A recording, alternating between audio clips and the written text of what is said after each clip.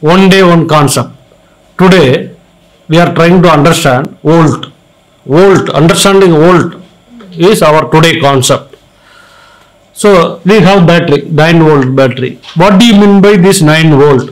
That is our question. That is our concept. What do you mean by 220 volt? Our household connection is having 220 volt terminal. What do you mean by this 220 volt? That is our uh, concept today. So normally we define volt as work done per unit positive charge. Work done per unit positive joule per coulomb. That is our voltage. How to understand that? That is our motive. So we can take a small diagram and we will try to understand a simple circuit. The simple circuit consists of one 3 volt battery, a line and bulb and return line. So you can notice empty everywhere one one coulomb is going. You can consider one one person as a one one coulomb.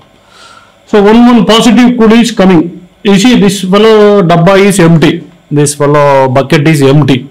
So he is coming with the empty bucket. He is entering the battery.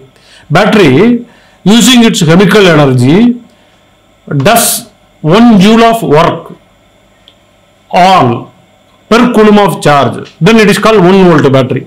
Here it is called 3 volt battery. So for every coulomb of positive charge, it does 3 joule of energy. 3 joule of energy.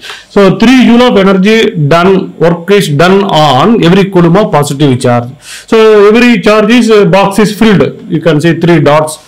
3 uh, dots 3 joule means 3 joule. So 3 volt battery means 3 joule work is done on every unit positive charge. So it is filled with going 3 joule 3 joule. Every coulomb of charge is positive. Every coulomb of positive charge is containing 3 joule of energy. So this entirely till the bulb the line is energized. We call line is energized. So on finding the bulb load. The load is also resistant, the line also resistant, but transfer of energy relative. That is another concept we will discuss later. So, finding the load, the energy is getting transferred to the bulb. All the coulomb is dumping its energy from its bucket, it dumps its energy on the bulb. The bulb is glowing, energy work is done by the charge there, but energy is getting transferred. Again, the charge becomes empty bucket on transferring charge. So it is coming with empty bucket, empty bucket. Everywhere current is same. Only difference is energy level. In live wire, charge is energized. In neutral wire, charge is not energized, neutral. But current is same everywhere. So volt is nothing but the indication of energy level in the circuit. Energy level, every coulomb of charge, how much energy it contains. In battery, work is done on the charge. In bulb, work is done by the charge. So this difference at any point, difference in energy level indicated by volt. Volt is nothing but the energy level per coulomb of charge.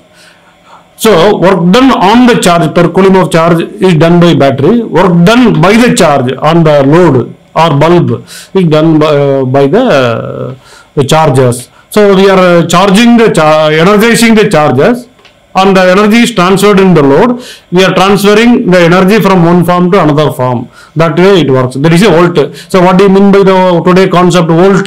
Volt means work done by the battery on the charge or work done by the charge on the load.